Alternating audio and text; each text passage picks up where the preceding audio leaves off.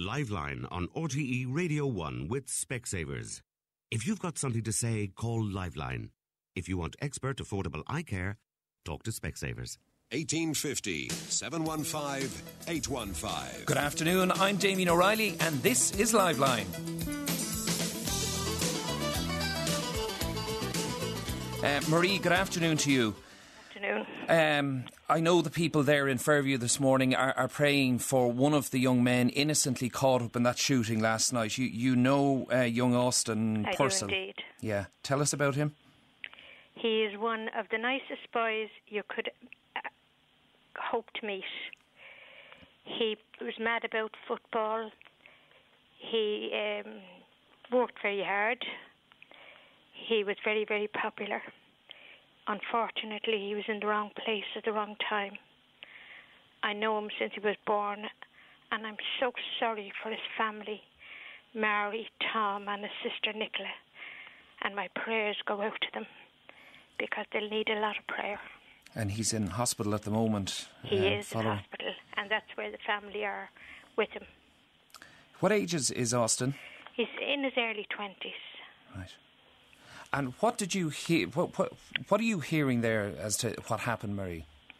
Well, the first I heard of it was um, some representative from the Evening Herald knocked at my door, and uh, he asked me, uh, "Was Purcell living uh, beside me?" And I said yes.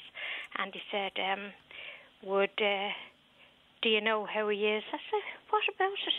He said, "Did you know about the shooting? I heard it on the radio." I said, "But I don't know anything about it." He said, "Well, Austin was one of them was shot, or I, I nearly died. I nearly fainted because he was the loveliest kid.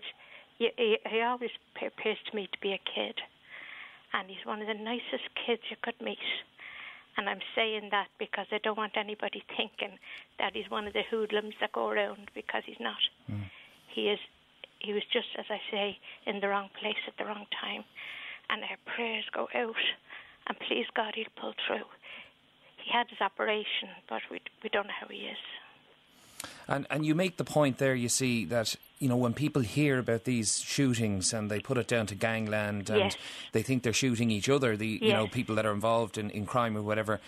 And obviously, what happened last night um, was an innocent was an innocent uh, person just caught up in. in, That's in right. Um, what what's the atmosphere like around there in, in Shock. Fairview? Yeah. Just shock. Nobody can believe it, and especially when they heard Austin. How could Austin? He's so quiet, you know. And uh, oh, nobody can believe it. And the whole the whole place is all uh, wired off. You know, you can't go down this road and you can't go down that road, and the police are all over the place. And Fairview will never be the same again. You don't think so? Well, as you said, you, you want to just uh, ask people to, to keep um, young Austin in, in their prayers. Please God. Uh, Yeah. innocently caught up, and as you said, when people read names and they re- they hear that people were shot, to to um, believe that Austin was was not no, involved he in was anything. never. No, no, no. He was one of the nicest kids you could meet. In fact, if I had a daughter of marriageable age, I'd recommend him. There's no higher recommendation than that. yeah.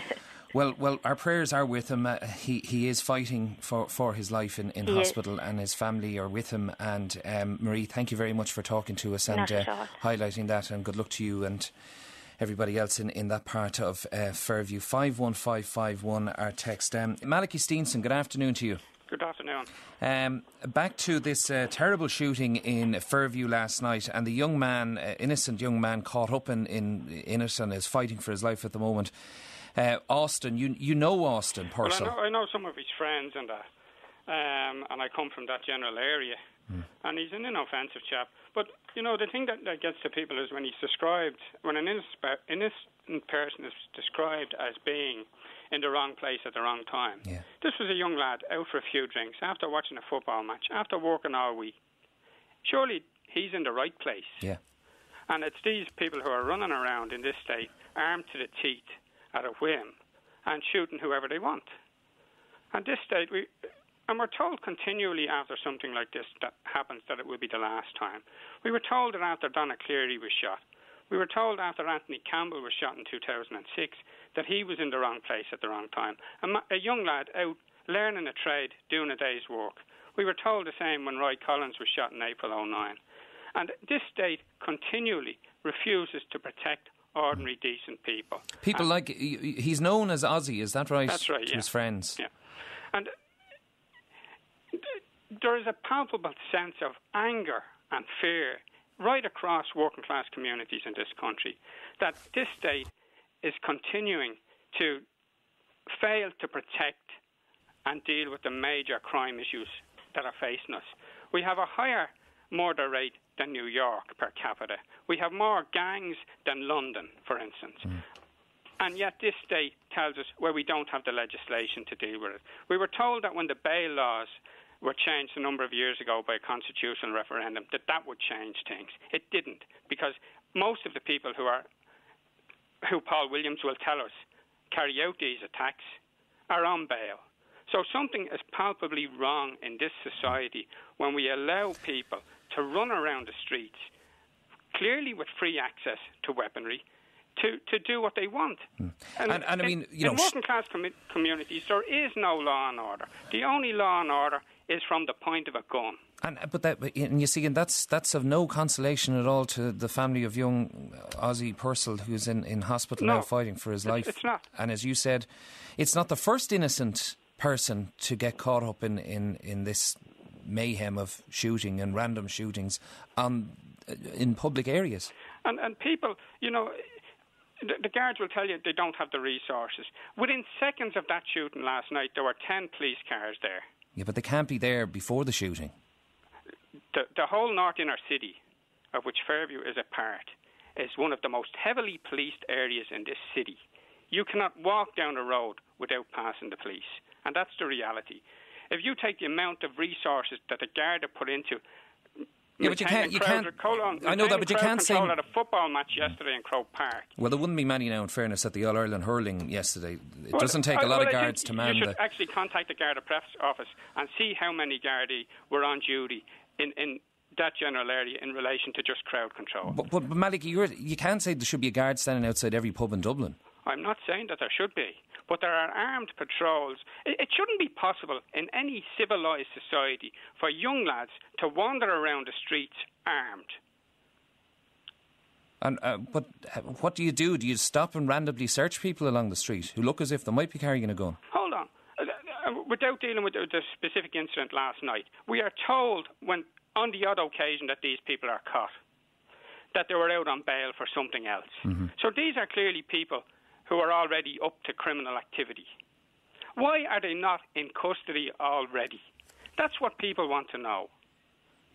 Well, I think there's a, there's a, it's a it's a whole different issue, of course. The amount of crimes that are carried out, it's unbelievable. There is a figure it, it's not uh, because you see that are carried out by people that are actually out on bail. You're right about that. It's, you it's see, unbelievable. You are more likely to go to jail for not paying a parking fine or for robbing a bottle, a loaf of bread in Dunnes than you are for being a drug okay, dealer so, or a major criminal. And so, that's the reality. The joy is full of petty criminals and of um, fee eva- fine evaders. That's the reality. There so, was a Malachy, man from Dundalk. You... Hold on. There was yeah. a man from Dundalk a number of months ago jailed for not having a dog license. Yet we see day in, day out. And I walk around my community and I see people who are in and out of the system and who are major criminals.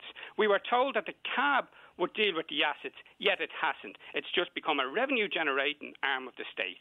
And until something changes in this society and this government, and uh, uh, not particularly this government, but previous governments and the next government, unless they actually deal with these issues on the ground, nothing will change. Well, changes have been made to the Criminal Justice Act. I suppose that we had the Criminal Justice Bill. Look at what's happening down in Limerick. We saw it last week uh, with the non-jury trials, which a lot of people sure, we are welcoming. We've had that, non-jury trials since 1972. Yeah, but but in, in relation to gangland, the oh, new no, the new see, the new laws in relation again, to dealing with gangland crime. Again, that's a spin that's put on by the state. The simple criteria required for a trial before a three-judge court is that the Director of Public Prosecutions directs that the ordinary courts are not sufficient. There was never a need for any more legislation.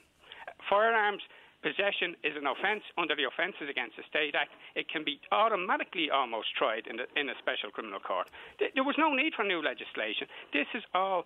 This government and this state continually tells us we need more legislation to deal with everything that comes along. We don't. What we need is that the legislation that's in place be implemented.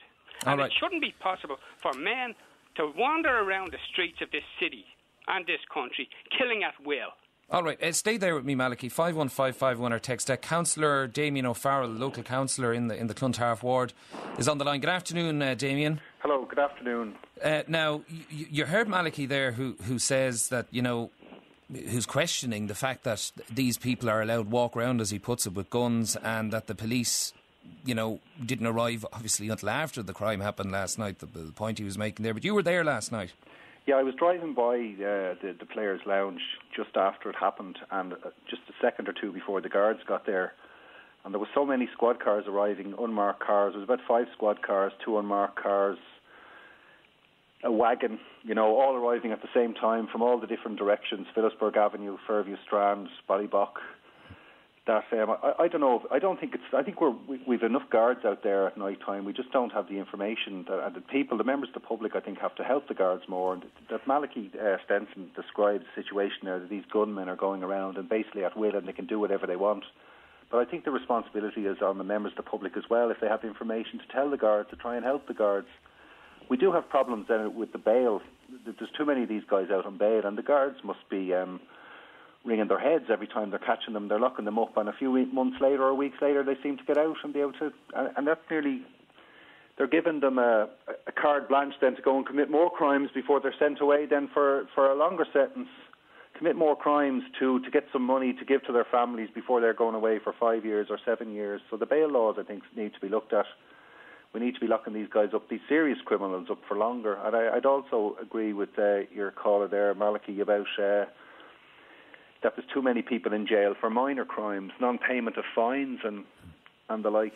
But back to what you know Yeah. what happened last night, as we were saying, and, and it was Mary at the beginning that just asked us to please remember that the you know that this young man um, was caught up in it innocently, and for people people when they pick up their papers and read a name, not to automatically assume that he was obviously involved in, in something that w- it's now has reached the stage and did so, as you mentioned about Donna Cleary a couple of years ago and young Yeah. Anthony Campbell, and of course um, Sh- Shane Geoghegan down in Limerick um, and young Collins as well that it, it's now happening. It is now happening that young, innocent people are getting caught up in this so called gangland warfare. Yeah, and that's why I think that everyone has a responsibility because it could be your son or your brother or your mother that's going to be shot next, and these. But everyone has a responsibility that if they have information to tell the guards, because people know. There's there's a few people in the city tonight now that today that know who did this. People talk, people hear, and we should be giving information to the guards to try and lock these guys up. But your people are afraid But to you- do that. Damien, you, you know yourself that, that while the name will probably be around the streets sometime later today, Yeah. the guards will also know the name. Yeah, You know, so people giving them information that "Oh, I heard somebody say that Mm-hmm. such a body was involved. The guards already know that. And you see, living in these communities, un- unless these people are removed, you can't expect people to be running to the guards. And, and because well, I'd agree guards, with you there. We need to remove these people. But We da- Damien, can I ask you if you were there? yeah. You were there after. But if you Yeah. if you had seen what happened last night, would you be happy to stand up in a court of law and point the finger across a courtroom at the guy that pulled the trigger? I'd like to think I would, yeah. You'd Yeah. like to think I've it- given some information to the guards already now today. I was down there making a statement just now because I arrived and while the guards were doing all their um, while the guards were doing all their guard work, they're, they're they're protecting the scene and all that. I was able to look around and, and I noticed some things and I told the guards and I'm here now on national radio and I've said I've, and I've just said I've been speaking to them. Right. And what about you, Malachy? I mean, again, the same question to you. It's easy to talk about people helping guards and witnesses standing, coming forward and all of that. But I mean, would you be happy in a court of law to point the finger at a, a guy that's tried to murder somebody? Well, I, I think that uh, people in the area know me well enough, and they know that I would do that if it was necessary. But uh, you can't expect ordinary people who are not involved in, in politics or not involved in community to, Yeah. to have the same um, decision. Because there's making. there's fear there. Because there they- is genuine fear out there among people that these guys don't recognise the law. Well, this state Ah, won't protect you for know. standing up for the for the state. If you go and give information, this state will not protect you. And and you're not alone putting your own life at risk. And people may uh, gladly or you know willingly put their own lives, but you're also putting the lives of your family at risk because oh. these people have no scruples. All right, uh, Frank is in Maynooth. Good afternoon, Frank. Frank, how, how are you? Not too bad. Your point, Frank. Uh, my point is very simple. I think it's about time that we looked at a form of, of detention for these people. I mean, like like every caller is saying, the guards know them, the dogs in the street know them, everyone knows them, but these fellows are walking about with, with impunity because they believe they can't be caught because they have smart aleck lawyers and smart aleck briefs who will get them out of all. So you're saying we should have internment? Well, uh, you call it what you want, but detention is the word I'd use. I mean, like you know, we, we've got to, you know, break the cycle of, of, of the power these people have, and the only way you're going to break it is by, you know, incarcerating them in some form of detention where they are kept off the but streets. Sure, we do have that and Sorry? they don't enforce it. We do have no, that. No, we don't have no. Well, no, yes, no. we do. If somebody is lifted and charged and held without bail, no, that, that is effectively no, no, no, the same that, thing. It's, no, no. You, uh, you see, but people, you know, the argument for for bringing in um, judicial um, internment effectively is to say that pe- that the state doesn't have to prove its case. Let me give you an example. Many years ago, if somebody was arrested with a, a load of drugs or guns in their car, they would be charged immediately. Now, in general, it's a file to the DPP, and sure, we'll see it in a few months. That's, that, that exactly that, that is the point again I'm talking about. This is where we need our legislators from we all don't. parties. We need the sorry, state. sorry, you, this is, you, you've had the airways for quite some time. Let's let other people maybe put across a point of view. We right? don't need more legislation. Sorry, we need the sorry, legislation uh, that's could, there. Could you let somebody else speak, please? Right. What I'm saying is right. It's about time our legislators from all parties, from the government party and from the opposition parties and from whatever, stood up and said enough is enough and worked it as a collective to ensure we, we have the proper legislation where this can be done. I mean, and it's as simple as that. The, the, you know, our, our, politicians can, without any hesitation, vote in a, a, wage increase in a matter of days, and then maybe need to stand up now and be counted. And maybe it's time for the government to be called back from the summer recess and say this is a this is an issue of national importance. This is national a national crisis. I mean, if this continues at the rate it's going, I mean, we've become so immune to killings. I mean, you know, you know people are being shot every day in this country. It's it's bizarre. And we, we you know we flick over. It's not no longer headline news. It's maybe three, page three, page four. Gun crime and knife crime, particularly as well. Uh, Kira is on the line. Good afternoon, Kira. Five one five five one. Your point. Good. Um, no, just in response to that other gentleman, Damien, when he um, commented on the fact that um, Damien O'Farrell, the councillor, yeah, yeah, that he said that you know um, the, the public need to, to help the Gardaí more, and I'm totally, I totally agree with that. Yes, I do. But if I don't know about you know different areas. I'll only talk from my area, but it's not always possible to help the Gardaí. You know, um, if you unfortunately witness a crime, um, in example, for example, a shooting, right? If you do witness anything at all, um, of course, you, you know you're, you're, you're reluctant to say something. But then, if you did say something, it, it's actually it's the innocent people that actually get the brunt of it because nine times out of ten, these guys are not caught for shooting such and such a person. You know, it's just a retaliation, and it goes on and on and on. Whereas the people, the innocent people that have seen it, have witnessed it, have been, you know, traumatized by it, they get no help. Nobody gets any help, you know, for what they've witnessed. I take your point, Kira. This is Damien here, Damien O'Farrell yeah. here again. You know, I take your point. Like I, I couldn't disagree with you. I just the main point I was trying to get at when I came onto the radio. I, I just wanted to say that when I, I was there last night, just at the scene, the same time as the guards, and I think the guards really are doing as much as they can with the with the type. I'm with not the sure, laws that they have. They're doing their best. Mm. But I agree with you though. Like it, it takes um, people standing up. It's not that simple. Like I'm not, I'm not disagreeing with you. But I think we're all in this situation now. It could be your mother or my sister or whatever getting. It's not just these. Uh, I think a couple of years ago, a lot of people used to say, "Well, they're just killing themselves. Let them at it." Mm. But that's not the case anymore. You know, they're they don't really mind. And I heard on the news earlier that the, the, the guy that was doing the shooting, he, he he shot from quite a long distance. He was walking Yeah. across the road towards them. He was just letting fly at the people that were standing out, standing Yeah. outside. It could have been anybody. And Malachy Steenson, just back to you before before I go to the break. Thanks, Kira, for your point there. Um, thanks to, to Frank and Damien as well. But you you've been speaking to young uh, Austin's uh, friends. I mean, they must be in a terrible state of shock. Well, for well, they're devastated. I was talking to some of his friends at lunchtime there, but I don't want to actually go into that too much. Um, but uh, you see, I think what we need is the style of policing in this country to change, particularly in working class areas.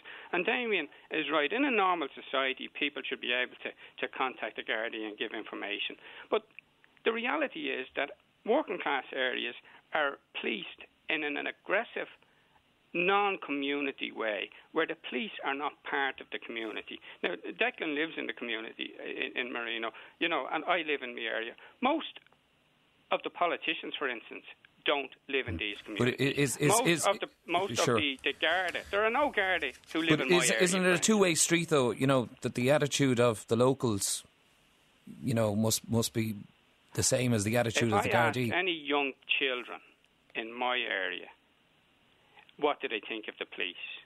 Even young teenagers who wouldn't be involved in any crime, they have a dislike and a hatred almost for the police because of the way the police stop and hassle them. Yet they don't see them doing the same to young fellas who are up to devilment or who up to, are up to drug dealing. And that's what ordinary people find. So the, police are not part of the community, no matter what the commissioner or the minister might say. Okay, the we're gonna- reality is community policing in this country doesn't exist. All right, okay, we're going to leave it there. Malachy, thanks indeed. And again, our thoughts with uh, the family of that young man and, and the families of, of those innocently caught up in that uh, gang or that gun attack last night in Fairview. 51551, our text. Uh, you're listening to Liveline, and we're back with more after these. 1850 715 815. Okay, 51551 or text joe at rte.ie. Martin Cummins in um, Blanchardstown is on the line. Uh, Martin, good afternoon to you. Good afternoon, Damien. I'd like to just correct something there, Damien. I'm not actually in Blanchardstown. I'm in Beaumont Hospital at the moment.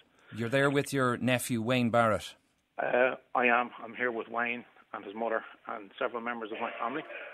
He he was the doorman in the um, pub, the Players Lounge, that um, who was shot on Sunday night. That's correct, Damien. He was one of the victims of a multiple shooting on on uh, Sunday night. Okay, and Uh, what is his condition, Martin? More importantly, at the beginning, how is he?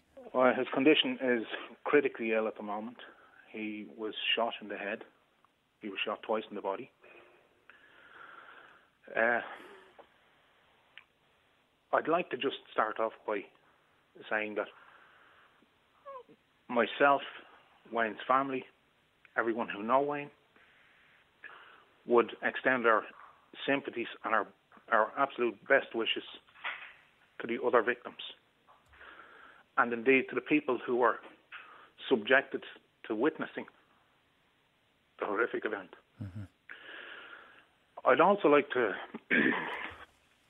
to, if I can, to clarify a few things that seem to be, the media seems to be running awry with all kinds of vile innuendo, half-baked theories, mistruths, misnomers, and all kinds of things that are leading to an inference that in some way Wayne may have been connected with any kind of criminal activity or political activity.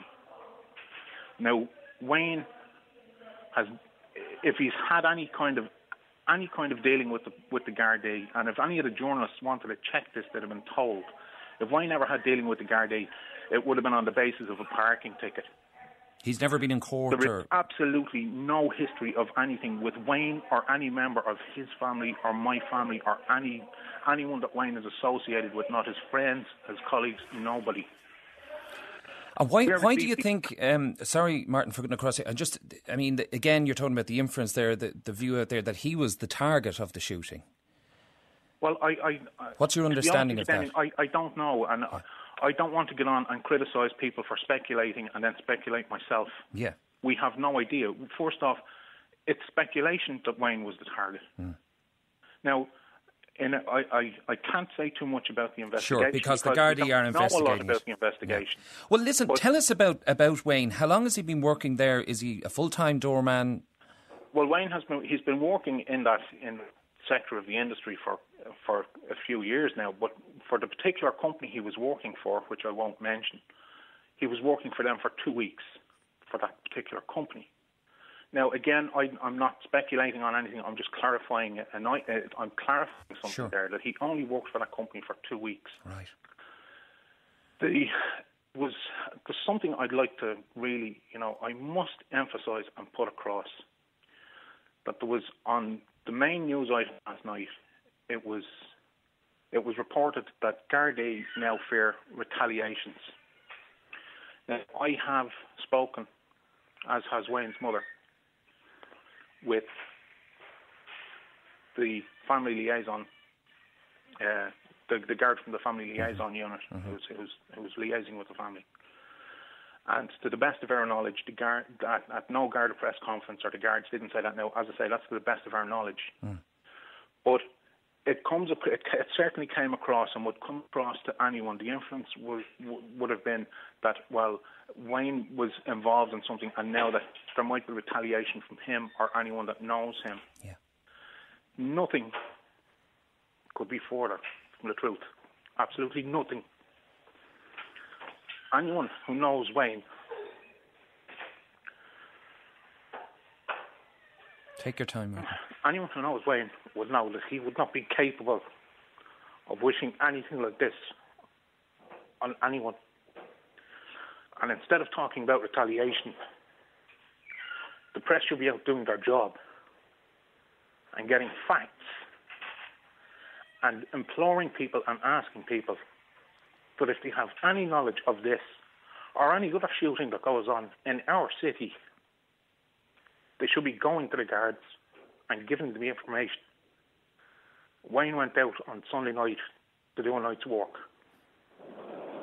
Not to be involved in something like that, not to cause problems for people. He was one of the nicest people you can meet. And I know there is always, you know, people will have an impression of, mm. you know, the the the, the half baked gorilla with the cauliflower ear and what have you that walked doors. Wayne was nothing like that. He's a he's a he's a gentle giant. And anyone who knows him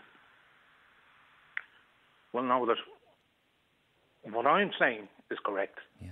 Not what the press are inferring. And that must be very difficult to read, you know, the inference that might be there here, you know. It, it, it is, Damien, because as, as I tried to explain, we're here in the hospital dealing with things, and we're a deeply private family. And the last thing I want to be doing is getting on onto onto your program and, and airing this when it's something so so personal and so so so hurtful to But- deal but with. It is important that you do that, though. You know, in fairness to, I, to I his do mother. Understand, I do understand it is important. Yes. And we all understand it is important. It's just for the past for the past kind of forty eight hours or so we, we had we had more immediate Of course, issues to deal with, if you know what I mean. But this yes. it seems to be reaching a crescendo. I was looking at the papers this morning, and it, no, I didn't see. No, I'm, I'm not going to claim I read every paper, Yeah. but I didn't see in any of the papers where there was any real attempt to get our side of the story, or my sister's side of the story, or Wayne's side of the story. It's all just okay. I, I quite honestly got the impression from some of- from some of the things I read, I got the impression that reporters turned up on the scene, spoke to people who were at the scene, but were not necessarily people who were on the scene. If you take my meaning. So, and, and, and as you said there, the impression is out there. Doorman shot innocent bystanders. He was the target. There was all this talk then about, you know, the, the gangs trying to gain control of the the door, the security in Dublin city pubs and so on and so forth. You say total rubbish. Well, I, I'm not saying, Damien, I, I, don't know what, Okay. what's at the background. What I'm saying is that when or him having any involvement in anything like that, Yes. when that did go on, and I, I, I, I You- You're just breaking up there a little bit, Martin. You might have moved from where you were. Sorry, with- Damien. Yeah, Uh, I yes. say, I, you know, I, I have, I won't slate other people for speculating and then speculate myself. I have no idea what was understand. behind Okay. all of this. What I can say for absolute 100% certainty Hmm. is that Wayne Barrett has no hand, act, or part or knowledge of any criminal activities or conspiracies or illegal political activity activities. Right. Or very- nor does he know. He, he, uh, I mean, especially when it comes to when it comes to any kind of politics, Wayne, he, he he's. I don't like to use the term politically naive, but he, he he's he's not. He's passive about it as such. Yeah, he's totally passive politically. And, and what know, sort of a guy? I mean, what what age is Wayne? Was he is he a young man? Uh, Wayne is thirty-one. Thirty one, and has he family himself? Has, He's a single man. okay, Uh, he has family. yeah, We're his family. yours family, yeah. Um, And how- brother, how did- when did you- Sister. Brother Sorry, and sister. Yeah, your brother and sister, and of course his, his mother there. And it, it- it must be just as you said, this layered on top of the trauma of of having their son in such a serious condition, and on top of that, then to be in a serious condition as a result of a shooting, it just it's it's chilling to think what, what your sister, his mother in particular, is, is going through. How did you hear the news, Martin, or when did you realise that Wayne had been shot? Well, I heard the news on Monday morning. I was just about to leave the house and get into my car to go to my job when my sister rang. And I knew as soon as I, you know, for her to ring at, at half seven in the morning would be, I knew there had to be something wrong. And when she said to me, I just, I, I simply could not believe what I was hearing.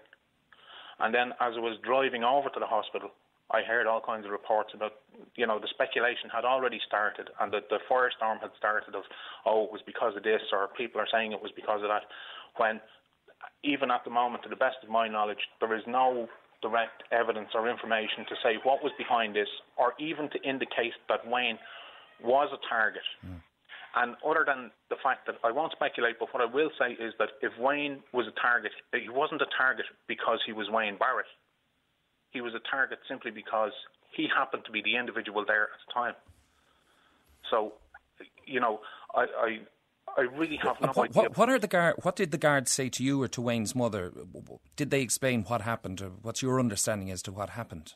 Well, my understanding of the, as to what happened is that one individual came up, was dressed in dark clothing with a hood, took out a, a balaclava, took out two handguns, and started firing from across the road. There was all kinds of things about he, he chased the, the, the doorman in and shot him at the bar and all that. None of that happened. He was shot outside along with the other two individuals. At this moment in time, to the best of my knowledge or anyone else's, nobody knows was Wayne a target. Wayne could have been just a an other mm. innocent bystander insofar as they could have been aiming at somebody else. Yeah.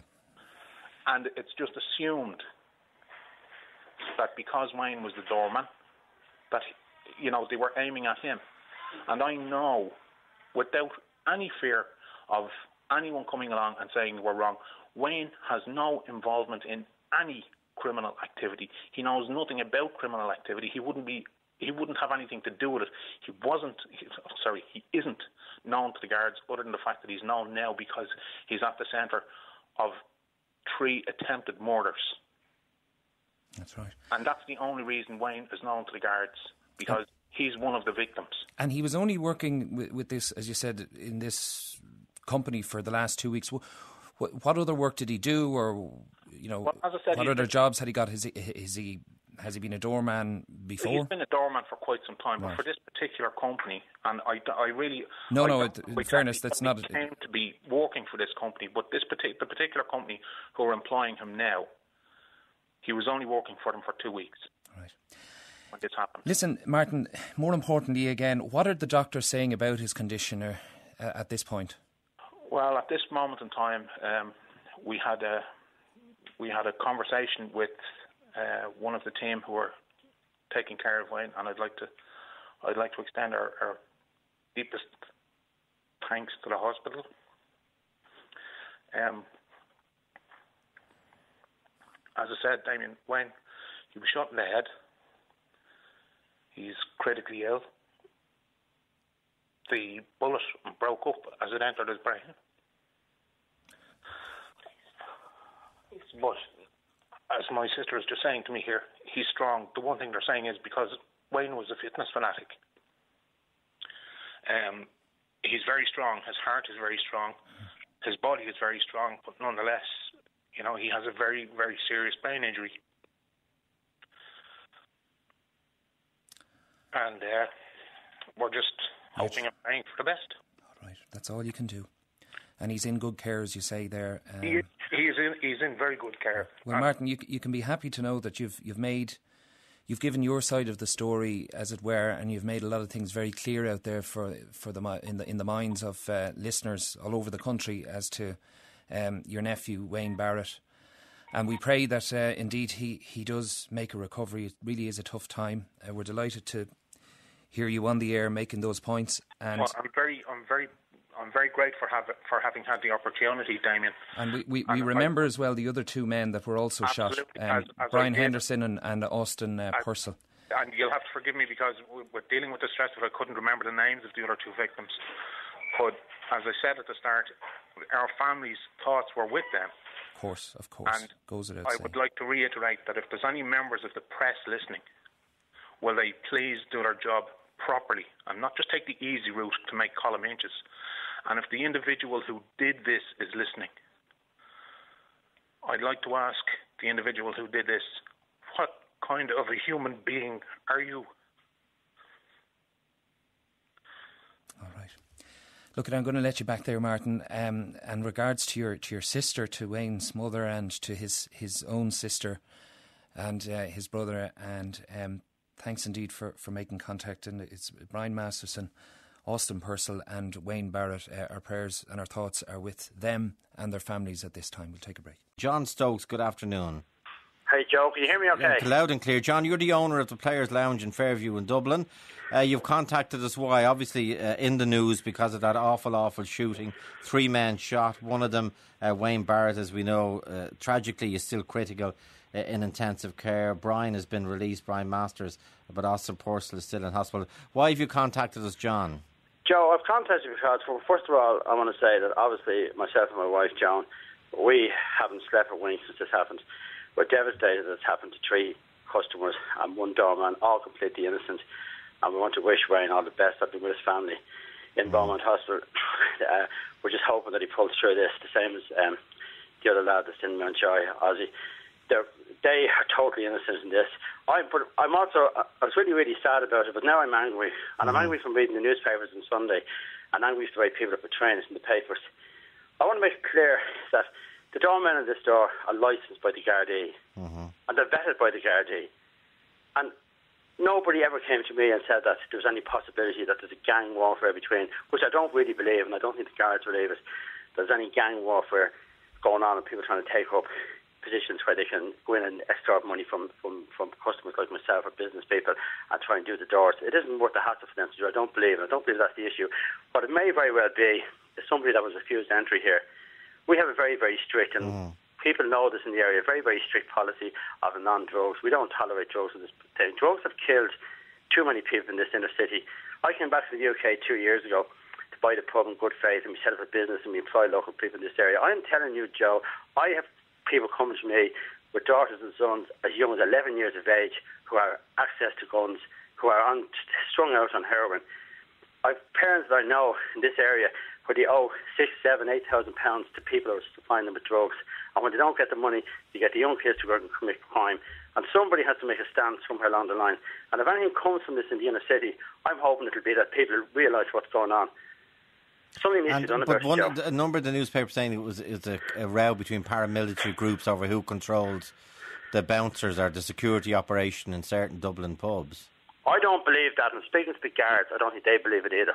And when I asked the guards, is this true? Did you have it? They said no, they didn't say it to the. I was only talking to them again this morning. They didn't give that information out. Uh, so I don't know where it's coming. It's either coming from some journalist that wants to make a story out of or something that he believes to be true. I don't think it has anything to do with that. And do you I'm, employ those? Uh, because I travel by the Players Lounge, and you did an incredible job, and you do an incredible job in terms yeah. of bring, bringing Aslan and people like that. And there's always two or three security personnel outside in, in their dicky bows or whatever. Um, do you employ them directly, John? Or I used to employ them directly, and I've used also a number of companies. And the reason I've used a number of different companies is because obviously to do with finances and people have different rates, and some lads would be suitable on the door and some wouldn't be suitable. We have a very, very high policy here, security. Um, we'd have the three, four hundred people here on a Saturday night. We have a late bar at half two, and most of the customers that come to this pub will tell you that they like to come here because they know there's no drugs allowed in the place. We don't allow known criminals to enter the doors.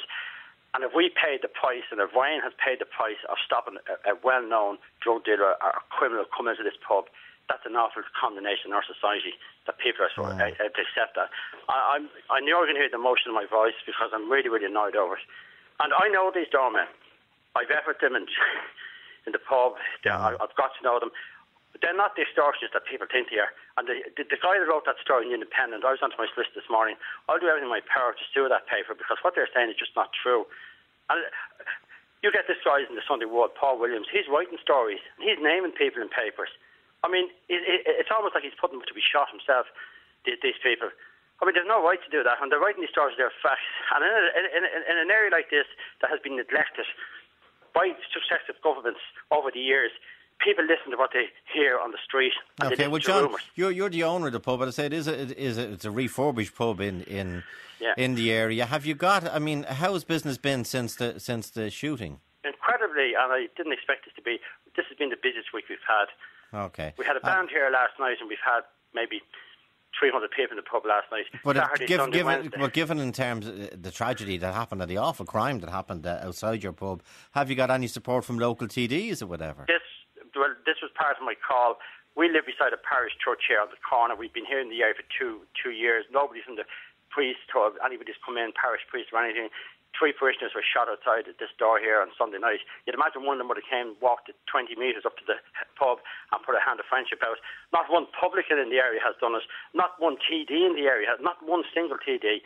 I think, as far as I know, Bertie Ahern of Taoiseach is the TD in this area. Well, two of, I want to inform, in case you didn't know, that two of his constituents were shot, innocent people outside this pub. And when he's worried about different bits and bobs and collecting money for organisations, in the country, political yeah. organisations. Why are they not? Why is this not top of the list? Why is he not down here outside the pub? Okay, and John, where's all the politicians that be looking for the votes when voting time comes around? But John, you're adamant you've never been uh, uh, forced or asked to pay protection money. I can swear to you, and on my son's life, who will be known to some people, and on my life on this radio show, and I'm telling you this from my heart, Joe.